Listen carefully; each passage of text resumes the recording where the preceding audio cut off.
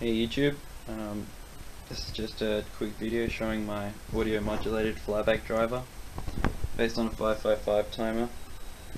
Um, I've got it hooked up with a, an audio amplifier which I pulled off a uh, big TV board. Um, it's pretty good to get parts off them. Uh, it's running off a old um, computer power supply, so I've been working on it for a while now. Um, you see, I actually was trying to run um, a stereo one, but I realized that didn't work very well. So um, yeah, basically it um, it all runs off the um, computer power supply. Uh, for a while I was having issues where uh, I think I was having um, shorts to ground, so the power supplies would just switch off. But in this um, configuration, it seems seems to be working fine. Um, uh, just the other day, I was um, I ended up once I'd gotten this uh, audio amp working, I was trying to run it, and I um, something to do with my 555. Um, yeah, the timing on it. Uh, I think I was um, cooking my MOSFETs because I was just running it dead short basically. So I ended up, I've killed um, four of my um, IRFP 250Ns which I was using. Um, so yeah, I, I, had a whole bunch of uh, TIP 35C um, transistors and I thought, oh, well I'll just give one of them a go and it's actually worked pretty well so I've got a um, nice clear arc happening now. Um, I can show you. So you probably can't see the arc, but uh, the sound, the hissing sound is just because of the the contacts. Um, it's using two nails, but it's not a very nice um, breakup point. So, um, you should be able to hear the music coming from it.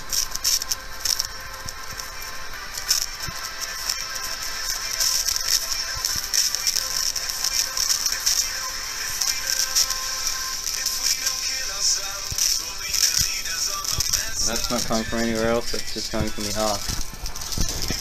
Uh, the transistor sits at about um, between 50 and 60 degrees at the moment at um, this distance. I'm not sure how many amps it's pulling, but uh, it all seems stable. I can run this for as long as I want now.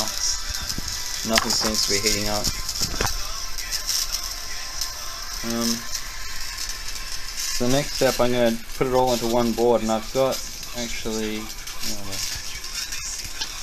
yeah, I've got a bunch of um, trim pots that I'm going to use on it. That was actually a, um, a 556 timer, which I ended up killing, which was annoying. Um, yeah, because I was trying to run it stereo, but I've found that um, I think the issue was I was getting a voltage drop which was changing the frequency, so if I turned um, these pots, it would affect this this timer, and same vice versa. So that was annoying. But yeah.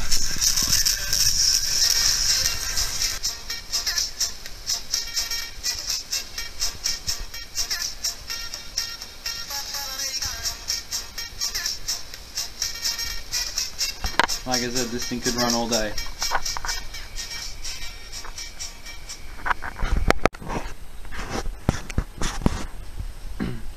So yeah, just a um, an idea um, for anyone that's um, wants to have a go at making one of these or has made one. When you um you get your TVs and strip them out, it's worth grabbing um, yeah these um, stereo amplifiers. Um, they're easy to find. They're usually on like one of the big heat sinks. Um, in my case, I had two of them. Um, yeah, and they're not that hard to drive. So uh, this one uh, the datasheet had the full schematic of how um, how you should set it up. So I just got some of the parts, had some of the parts already. But um, they're not hard to wire up. Um, this is all running off 5 volts the um, 555 and the amp um, just plugged into the laptop. And then the uh, transformer is running off 12 so.